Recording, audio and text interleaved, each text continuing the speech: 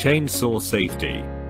Chainsaw is a portable, mechanical saw which is used for cutting wood. Many chainsaw accidents happen because users do not follow the manufacturer's instructions and do not understand the saw's hazards. The most common cause of chainsaw accidents is kickback.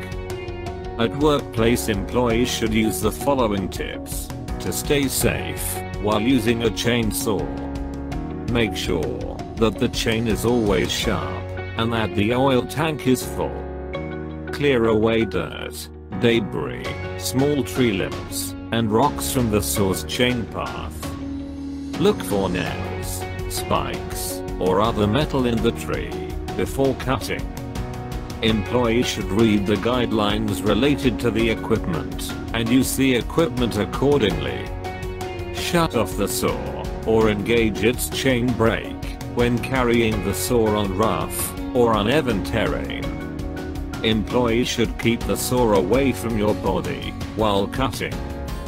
Never cut anything directly overhead.